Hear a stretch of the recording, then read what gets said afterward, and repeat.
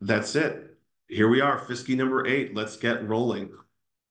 Uh, we have uh, academic freedom, privilege, and intersectionality, revisiting a core ethical requirement of transparent and open research in, in the Contemporary Academy. This is Dan O'Donnell. He partnered with me and Stephanie Hagstrom in putting together a proposal for UCLA Library to become a partner in putting on FSCI six years ago. So he's been in this room negotiating with a librarian to make this happen. So he's a legend. He's got a, a couple of FSCI awards. So um, let's hear it for him. Dan O'Donnell. Marty, do we stop this at forty-two? I mean, just. Yes. Great, okay. Yep. Great. Well, thank you very much. Um, having heard about, uh, you know, the need for, um, community and that we should really enjoy ourselves. Um, I thought, why don't we talk about racism and sexism and, um, I- I'm going to be giving a pres- uh, uh, there is something actually important to say about that, but I'm going to be talking about academic freedom. Um, it's an interesting thing to be talking about at FSCI in particular because uh, so many of the participants in FSCI, as opposed to, for instance, a uh, an academic conference, are in publishing uh, at the Federal Reserve, um, perhaps in some cases in libraries where uh, faculty or, librarians are not faculty and may or may not have uh, full academic freedom. But it nevertheless is something that undermines uh, undermines underlies a fair bit of uh, the research that we publish and that uh, and the issues.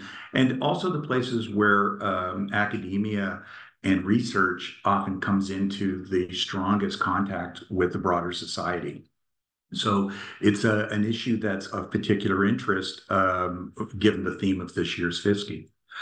Before I go on, um, I'm going to just mention a couple of things. Like I said, this is, uh, uh, I've been a union leader for about the last 10 years as well in academia. And uh, as part of that, had to defend a number of academic freedom cases and defend people from defenses of academic freedom cases. And one of the things to keep in mind is academic freedom cases are never about researchers looking into how cute puppies are. Uh, it's always about uh, issues that are of great emotion, uh, of issues that um, many times awful people doing awful things. Uh, in other cases, uh, people doing uh, necessary but work that others consider awful. I'm not going to be going into too much of the detail of this because the basic argument uh, that I'm going to be presenting is that I think we live in a time where we're going to have to revisit certain things. There's a historical moment going on. So I'm going to be revisiting. Oh, one other thing to say about this. Uh, I looked up, as one does nowadays, what should you do when you're giving a keynote to ChatGPT and Gemini?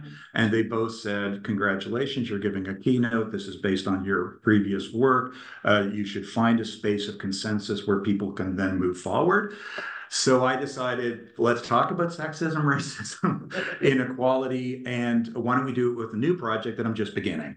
Uh, so this is, in fact, the very first talk that I'm giving on this topic in an academic context as opposed to a union context, uh, and it, it does mark what is um, I put in my first grant application for this, but I'm just starting a, a, a new project on this. So I'm going to be talking about how uh, academic freedom uh, does or does not protect free inquiry in the advancement of knowledge. And I'm a humanist, and some of you may have heard me say this before, that scientists solve problems and humanists problematize solutions.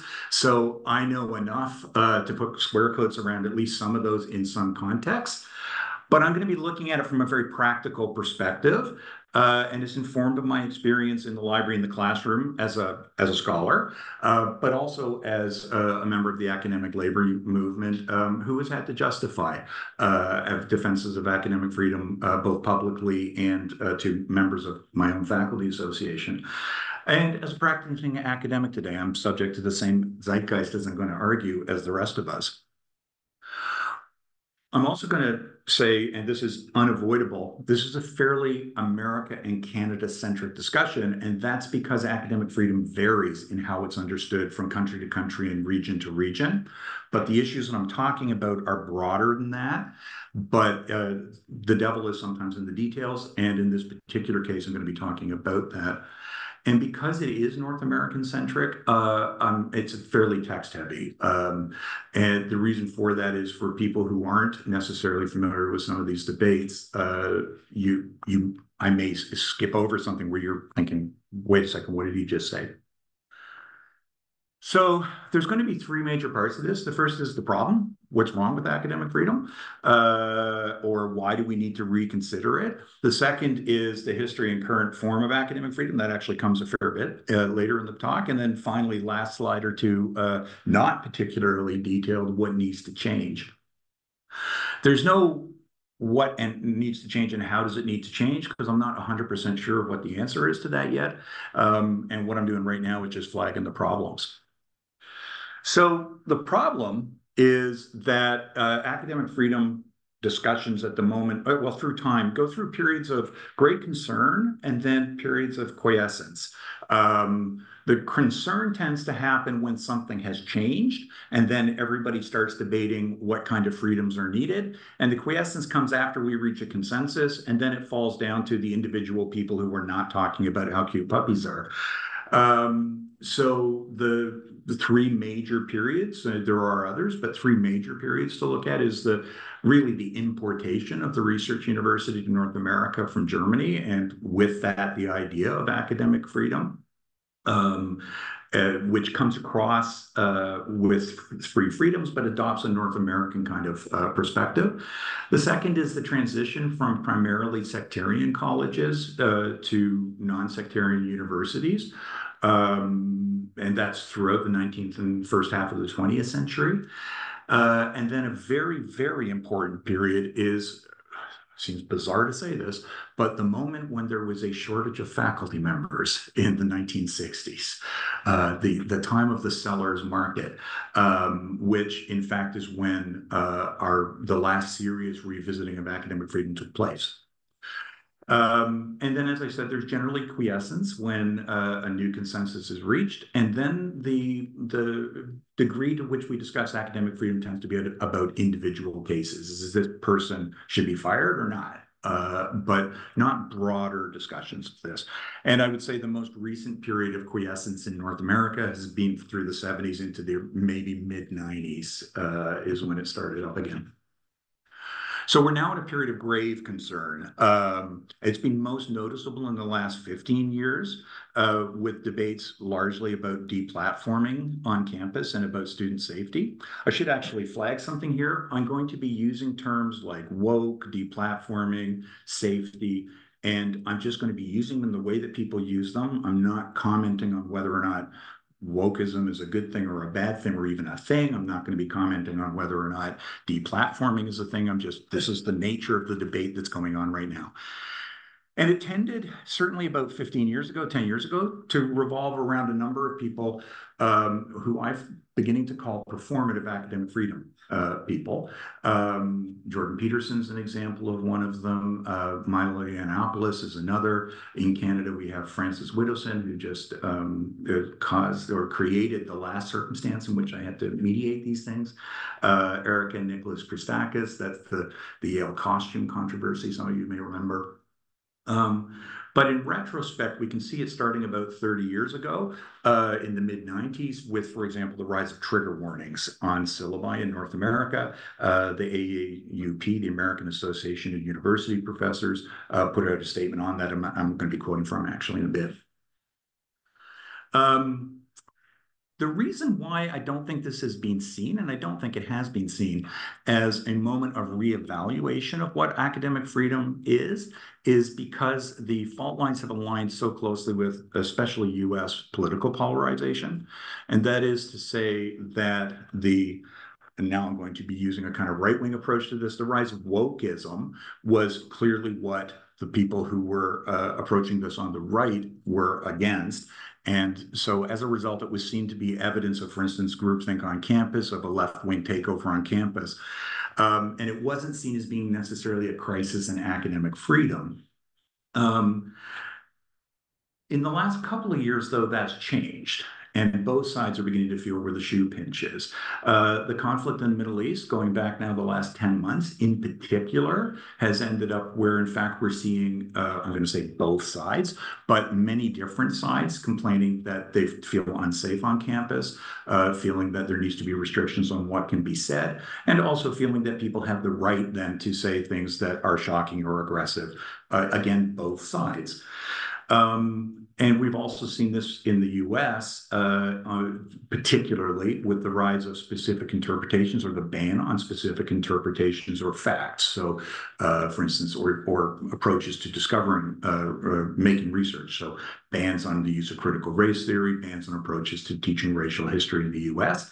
In Canada, we've seen uh, generally right-wing governments imposing freedom of speech codes on universities in both Quebec and Alberta until about 10 months ago when it turned out uh, that actually everybody should say whatever they want was not what they'd meant. And so the rules have changed again in the last couple of months. So it's been rising and falling with political uh, uh, changes, but it's only now that it's both sides are feeling this that I think we're really seeing the fall. So I'm calling this a period of concern because the issues go beyond who's involved or what they're saying, and it goes to the bigger issue of what's allowed. So Claudine Gay, the president of Harvard, who recently resigned, she didn't resign from the presidency at Harvard in response to her response to a specific case of a specific individual in an academic freedom case. Where the pressure came on her, and, and let's say one of the places where the pressure came on her. There's other ways you can read her resignation, but at least one of the ostensible places where pressure came, including from her own statement, was that she was unable to formulate on the spot at Congress an appropriate philosophy of what is protected by academic freedom at Harvard or not.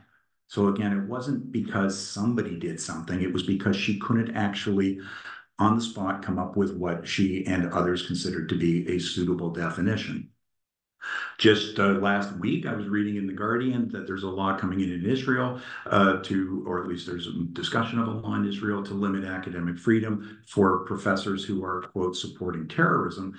But it's not being promoted by specific case. It's being promoted to create ground rules given the current situation there.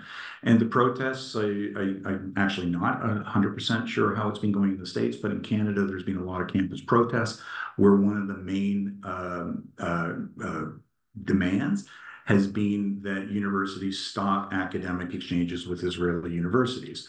And this is not happening again because of any abuse in any one specific case. This is a debate about what the limits of academic freedom should be. So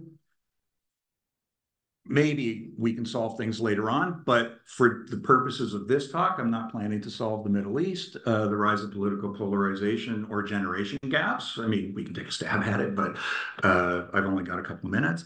Um, and but I'm also not going to say suck it up.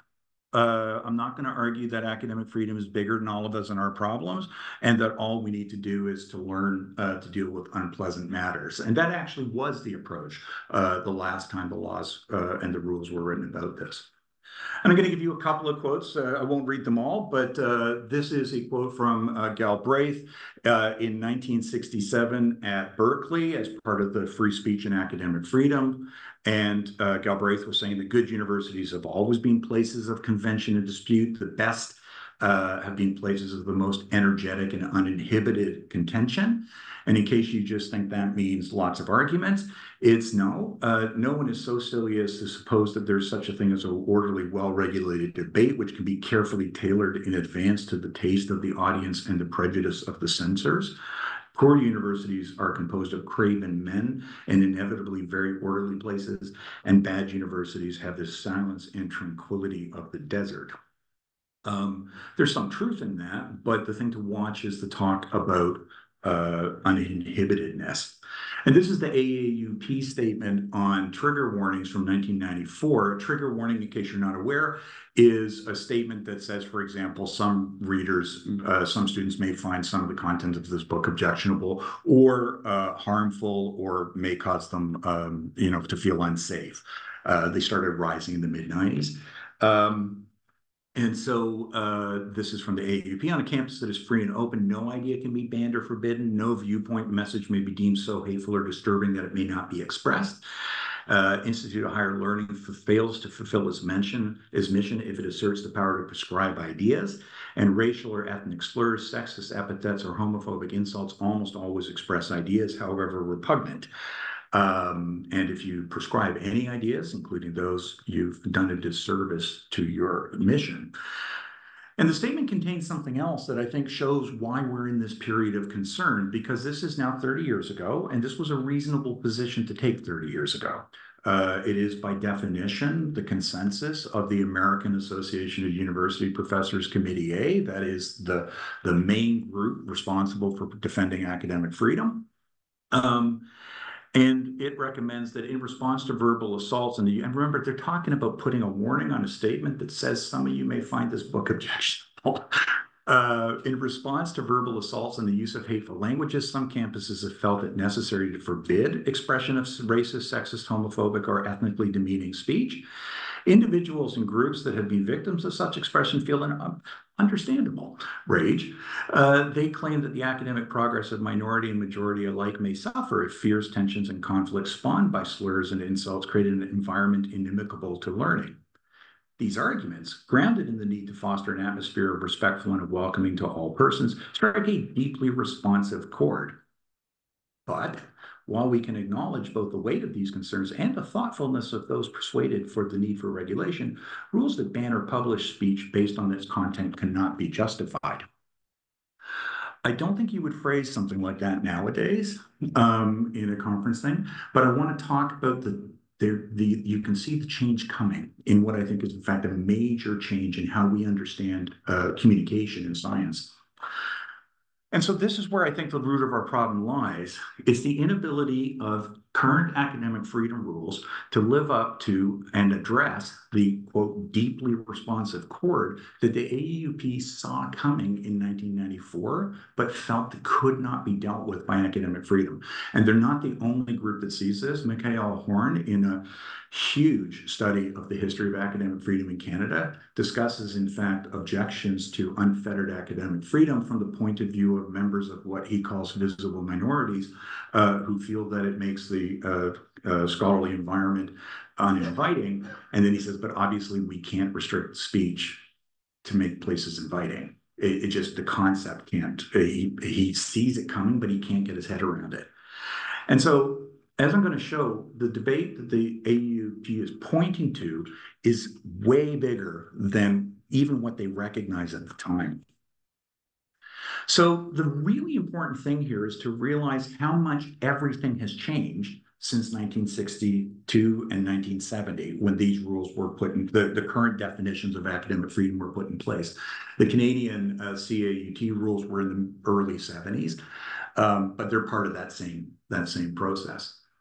Uh, so when these were put in place, you had um, the, the main focus of anti-racism, uh, anti-misogyny efforts at the time were really focused on this idea of the liberal subject. And they understood racism and misogyny and all the other isms as really being uh, a, a pathology, an individual pathology that if only we could address, as Martin Luther King put it, their children would not be judged by the color of their skin. And in fact, if at the time you argued that a community has distinct needs and reacts in distinct ways, well, that's the way the sheriff in In the Heat of the Night talks. Uh, the idea that you could see structural racism, structural sexism was in fact what racists said.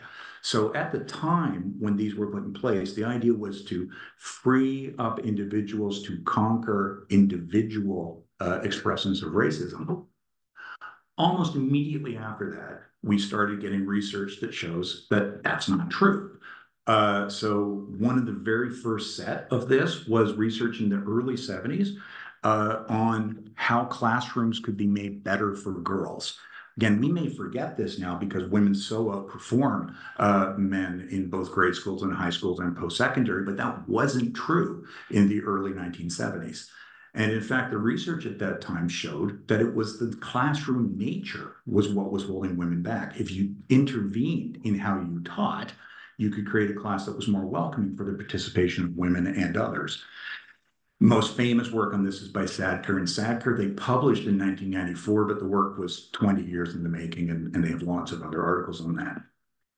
Uh, you also had studies in education about the impact of the lack of role models for women and members of equity deserving groups. So an example is Malcolm and Brown. I believe that one's about the impact of role models on Black female scientists. Um, and you had studies at the beginning, uh, things about what uh, McIntosh calls the knapsack of privilege, how privilege changes the shape of a room and how people who enjoy that privilege and that currency both reinscribe it, but also are not necessarily able to understand how people who don't share that privilege are able to interact in the room. And this work was part of a larger movement that focused on the change from the liberal subject, that is to say, the needs of the free individual to engage in conversation, to the discussion of the structures that prevent members of equity deserving groups from sharing in that privilege. Uh, early studies of uh, female silence, and for instance, the novels of Henry Miller, or Orientalism from Said, uh, published in 1978, uh, Millett's, published in 1970, an unbelievable takedown of uh, Henry Miller. Um, and that goes right through the developments in critical race theory and the understandings of uh, structural racism from Crenshaw and critical race theory. So at this point, you might be thinking, boy, this has become really specialized and very North American.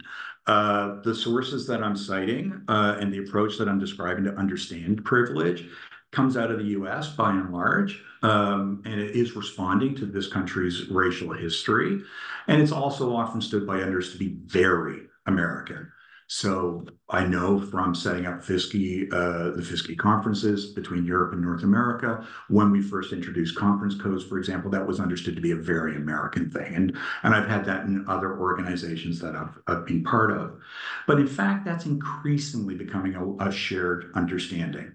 Um, I think the manifestations of Me Too across, for instance, Western Europe, uh, initially were seen as a very American understanding, but in fact gradually became uh, internalized and localized and has become a fairly standard uh, part of our daily acad academic lives. You had a slide at the very beginning that explained the conference code of conduct. Nobody stomped out of the room.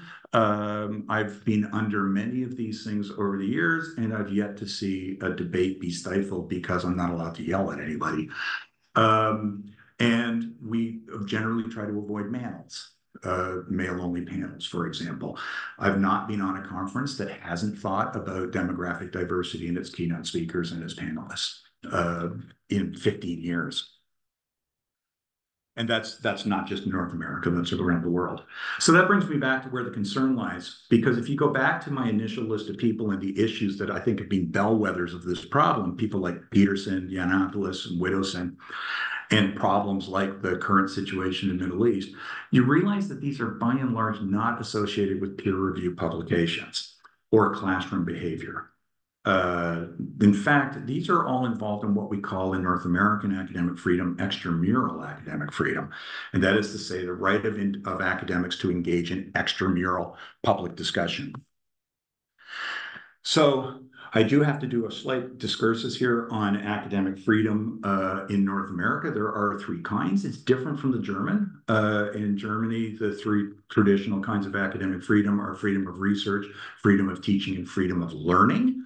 Uh, North Americans are smart enough to know you don't want that last one. Uh, students have to be English majors the way I say they have to be English majors, not the way they want to be English majors. Madness.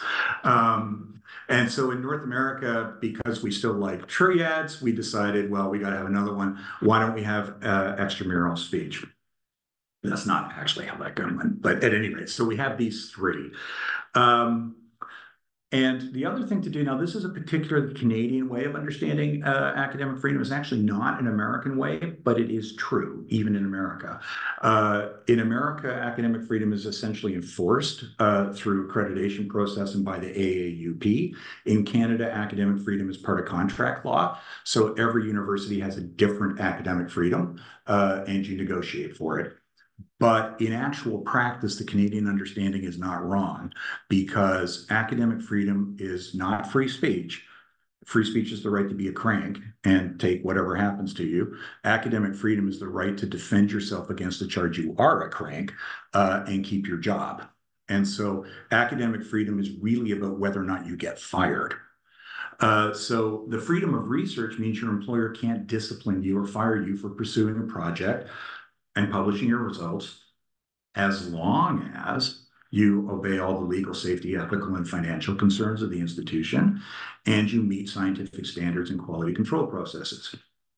You don't have the right just to ask for 10 pages in uh, science or nature. Uh, and you also don't have the right to submit fraudulent work. Uh, and then when you're caught out, say, academic freedom, man. Um, both of those cases override your academic freedom. And we need this because otherwise we can't challenge consensus or pursue important research questions and share or build on the results. I got Galileo down there, but uh, there's been many, many cases of people pursuing uh, results that people have said are crazy uh, and and have nevertheless pursued and done. There's also been horrific examples of people pursuing uh, results that are fraudulent and dangerous and used academic freedom at least partially to protect themselves. Freedom of teaching, your employer can't discipline or fire you for teaching a particular subject matter in a particular way as long as you obey institutional policies and programs. For example, you have to, in the end, reduce student performance to grades. Uh, you're not allowed to say, I don't, I don't personally believe in grades, but that's too bad. I have to submit grades. And in Canada, it's certainly case law that if you do not, you can be fired. Academic freedom doesn't extend that far. I also can't decide I'm going to teach physics 1000 instead of English 1000. Uh, I have to teach within the major and I have to teach the courses that I'm assigned. I once did kind of do something like that. I was given too many first year courses and not enough old English courses. So I told the dean that I felt that every first year English student needed to learn old English. Um, but uh, that was a good faith argument. Um, and so as a result was protected by academic freedom and also he backed down. Um, and I have ethical, legal, and contractual concerns about what I can do there. This used to be the Wild West. It used to be there was basically nothing that you could do about professors who taught whatever the hell they wanted to, whoever, however, but that's changed. Uh, I know from my father talking about stories in the 60s of how people taught in classes, uh, you know, mm, there wouldn't be many departments if we taught that way nowadays.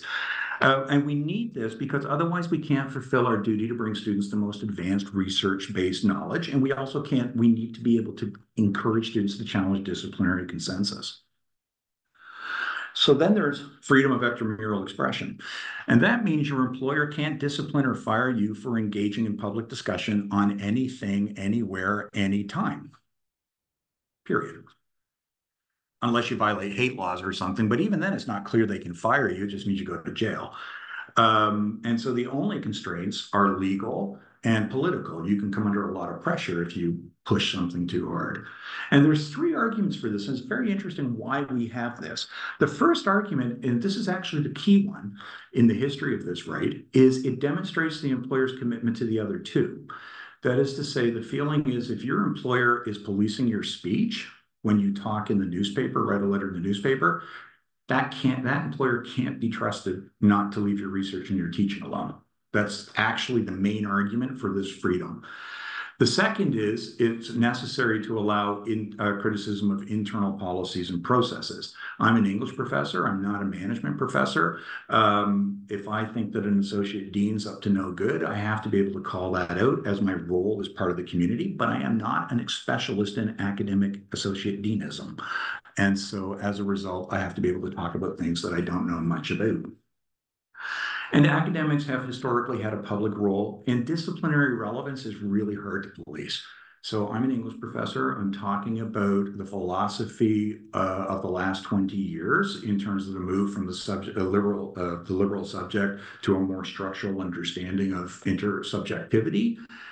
And I'm kind of drawing on that from Millett and her takedown of Henry Miller um, and from Said and his discussion of Orientalism, I think I've got something to contribute, but I'm not a specialist in the history of philosophy of the 20th century or any of those topics. And so it's felt that we need to be able to move. And so when this right was first, so when this right was first defined in 1915, 1925, it was revisited, and then 1940, again by the American Association of University Professors, it was understood to be a contingent right based on professional performance. Uh, that is to say, You had to be free as a citizen. It, and states that interacts with First Amendment jurisprudence, uh, but you have to be free from institutional censorship or discipline. But your special uh, position as an academic, a public intellectual, imposes obligations, and you should be at all times accurate, exercise appropriate restraint, show respect for the opinions of others, and you could be fired if your extramural expression ex- uh, caused there to be grave doubts about your fitness for continuing service. Uh, this was revisited in 1962 after a really great case, uh, not for the person involved, but for the rest of us, um, at the University of Illinois from a professor of biology who encouraged students to engage vigorously in fornication. Um, and this was felt to be beyond the pale, and so he was fired. Uh, there, it raised grave doubts as to his fitness to be a professor of biology. And so the American, the AAUP met, and they also had grave doubts about this guy. but in the end, they decided that maybe he hadn't really said it quite as vigorously. they, they sort of were wondering about whether or not he'd been truly vigorous in his defense of fornication. Um, and so in the end, they said he probably shouldn't have been fired, but they revisited the matter as the 60s went on. Uh, as you can imagine, the summer of love probably called a lot of their thinking into uh, question here. And by 1970, they decided, in fact, they changed it. And this on the right there is what they came up with. It's a note on the 1941, which reverses it. And it says that the controlling principle is that a faculty member's expression cannot constitute grounds for dismissal unless it clearly demonstrates your unfitness to serve, and they rarely bear upon your fitness. And if you're ever going to be judged on that, it needs to be in the context of your entire career. So basically making it almost impossible uh, to fire people for this. So this brings me to my final point, because this is where the rub is. When the new rules on academic freedom uh, extra, uh, extramural were passed, the focus was still in the mid 60s, free speech time, on ensuring the freedom of the liberal subject because there's simply, in Canada, I think it was six or 7% of professors were women at the time. It was basically a white male environment, and people simply did not think that there was any kind of intersubjective uh, issue. Uh, racism, sexism were all thought to be personal vices rather than structural problems. And nobody realized the degree, or very few people realized the degree to which biases and privileges were structural and that privilege could be reinscribed. Since then, in our other two academic freedoms, we've adapted without changing language. We have conference codes of conduct, no problem trigger warnings are a dime a dozen. Uh, we generally, I mean, this doesn't mean that conferences are magical safe spaces where privilege doesn't exist, but we're aware of this as we do it. But our extramural uh, freedom, particularly the way it's phrased by the AAUP, which has been adopted by the Canadian Association of University Teachers, is explicitly designed to prevent that adaptation.